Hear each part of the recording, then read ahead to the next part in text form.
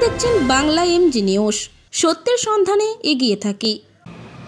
নমস্কার, আপনারা দেখছেন বাংলা এমজি নিউজ। আপনাদের সঙ্গে আমি সুষমা।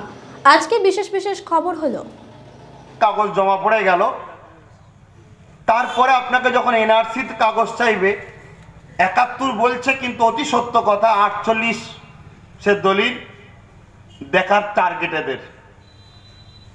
এই দেশে বহুত নোংরা রাজনীতি হয়। বস্তিতে যারা বাস করে ফুটপাতে তারা যারা বাস করে বা কর্মসংস্থানের জন্য পশ্চিম বাংলার লোক চলে গেছে ব্যাঙ্গালোরে প্রমোটিং কন্ট্রাক্টরি কাজ করছে বিল্ডিং কমপ্লিট ওখান থেকে চলে গেল বোম্বাইয়ে। ওদের ঘরটর নেই ভাই। ওই বউ স্ত্রী বাচ্চালে ঘুরে বেড়াচ্ছে। কাগজপত্র কিছুই নেই ইমাতা উমাতা উমাতা করে ঘুরে বেড়াচ্ছে। আবার দেখা গেছে রাজনীতির ফয়দা লিবার জন্য। রাত্রিরে গুন্ডা পাঠিয়ে বস্তিতে আগুন ধরানো হয়। দিনের বেলা নেতা লাল আলো জানিয়ে বিএমডাব্লিউ স্করপিও চেপে চলে এলো।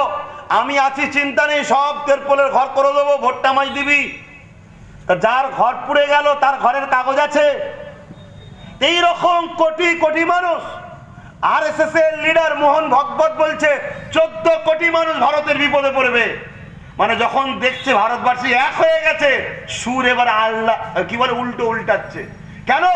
এই যে আন্দোলন উঠেছে, এই আন্দোলনটাই বিজেপিকে শেষ করবে। কিন্তু এই আন্দোলনকে বন্ধ করার জন্য আবার বহুত নাটক চলছে। তার মধ্যে একটা নাটক আমার বাংলার মুখ্যমন্ত্রীও করছে। জানি না, কালকে আবার আবার পুলিশ আসবে কি রাত্রি জানি না। কেন লোক ভয়ে ভয়ে কথা বলে, আমি স্পষ্ট কথা বলি। কেন বলার অধিকার তো আমার সংবিধান আমায় দিয়েছে? তোমার রুকার ক্ষমতা কে দিল?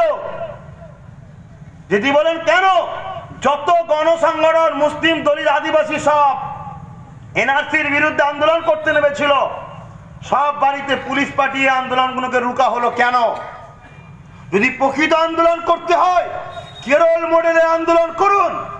অন্য অন্য রাজ্যে যেখানে বিধানসভা অধিবেশন করে জরুরি ডেকে এক জায়গায় বসে সেখান থেকে একটা রায় বার করেছে যে আমরা আমাদের রাজ্যে এই বিল লাগু হতে দেবো না।